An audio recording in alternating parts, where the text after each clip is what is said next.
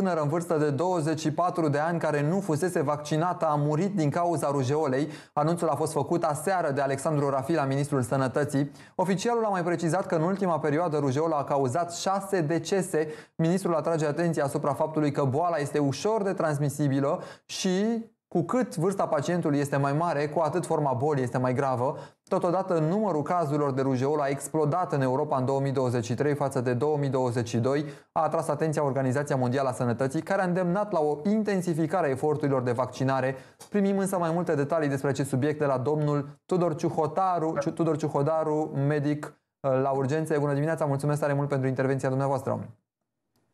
Bună dimineața și uitați-vă încă o dată cât de importantă este prevenția și educația pentru sănătate și poate odată și odată acel capitol pe care îl propun de mult să fie introdus la orele de biologie va face diferența pentru că mă uitam și eu pe statistici. În ultimul an uh, mortalitatea la nivel global a crescut cu 40% și majoritatea acestor decese ar fi putut fi prevenite. Și nu ar trebui să uităm că vorbim despre o boală extrem de contagioasă și simplu contact cu virusul rujeolic uh, duce la boală toți pacienții ar trebui tratați în condiții de izolare, iar uh, pe de altă parte receptivitatea este generală.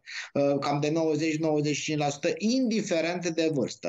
Uh, virusul este mult mai activ în astfel de luni, de reci, cu soare puțin, iar pe de altă parte trecerea prin infecție asigură într-adevăr o imunitate durabilă, dar asigură metodă eficientă de prevenție rămâne vaccinarea. Și să știți că sursa de infectare este persoana, persoana infectată, nu există purtători sănătoși, iar perioada în care se transmite cu mare ușurință infecția este este cea de două-patru zile dinainte de apariția simptomelor și vorbim de transmitere ușoară pe cale aeriană. Este suficient să tușești, să strănuți, chiar să râzi, să vorbești pentru a transmite boala mai departe. Iar de acest punct de vedere, mai ales pentru grupele de risc și vorbesc despre cei cu probleme imunitare, cei peste 65 de ani, imunodeficienții, pacienții cu patologie oncologică, lucrurile pot evolua nefavorabil, iar tocmai de aceea sunt uh, lucrurile pe care le recomandăm de fiecare dată, uh, prevenție, asta înseamnă pe de-o parte respectarea strictă a regulilor de igienă și imunizarea, iar pe de altă parte de n-ar fi rău să fie și aceste lucruri, să existe tot timpul disponibilitate pentru vaccinuri sigure și poate ar fi un bun moment de a asigura din nou producția la Institutul Cantacuzino. Soluția mea legislativă a trecut de Parlamentul României, dar poate îl facem să devină și funcțional. Și mai trebuie spus un lucru, apropo de rujeola la adult. Aici sunt, sunt forme severe de boală. Se pot înregistra pneumonie, encefalite cu potențial letal și cam unul din 1000 de cazuri duc la astfel de patologie și complicații, iar în acest context uh, vaccinarea la adult se poate face la orice vârstă cu două condiții. Să nu fii trecut prin boală și să nu existe contraindicații. Și mă amintesc că epidemia din 2016-2019 au fost peste 20.000 de cazuri și 64 de decese.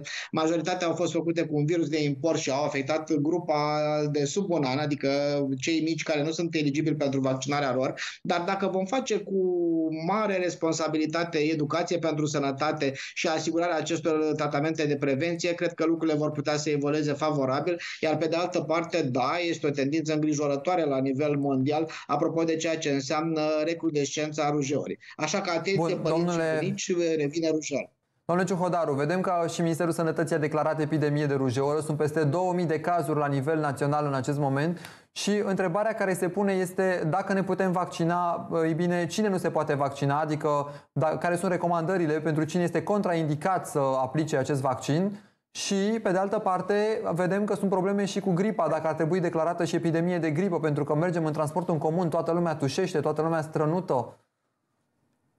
Apropo de gripă, este sezonul virozilor, nu cred că este o surpriză că în această perioadă registrăm foarte multe cazuri de acest tip, iar uh, și aici recomandările sunt aceleași. Apropo de transmitere, prevenția este esențială și nu duceți în colectivități, mai ales școlare, copiii care au febră, prison, tușesc, curg ochii, curg nasul, pentru că evident vor transmite boala mai departe. Știm foarte bine că de ce majoritatea cazurilor de gripă se vor rezolva în 2-7 zile, dar și aici există acele grupe de risc, vorbesc de cei de peste 65 de ani, copiii sub 5 ani, imunodeficienți, pacienți gravide, cei cu patologie cronică de tip cardiovascular, neurologic sau respirator, la care se pot dezvolta forme severe de boală, așa că cel puțin pentru aceste categorii de persoane, prezentarea la spital și începerea terapiei cu cât mai repede, cu atât este mai bine, poate să evite dezvoltarea multiplelor complicații. Și să nu neglijăm nici aceste afecțiuni virale, ele pot duce la numeroase complicații de tip pneumonie, criză de as bronșic, miocardită de compensare, insuficienții cardiace și încă un lucru extrem de important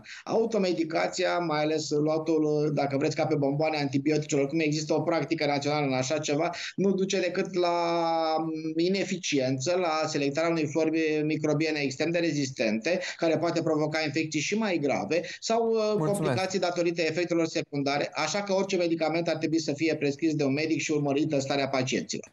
Mulțumesc tare mult, domnule Tudor Ciuhodaru, medic primar urgențe, a fost în direct cu noi de la Iași prin Skype pentru to- cu toate informațiile despre, iată, epidemia de gripă care ar putea fi declarată și epidemia de rujeolă declarată în urmă cu o lună de Ministerul Sănătății. Așadar, informația momentului, o tânără de 24 de ani a murit de rujeolă. Este anunțul făcut aseară de Ministrul Sănătății. Avem deja șase decese și peste 2000 de cazuri la nivel național.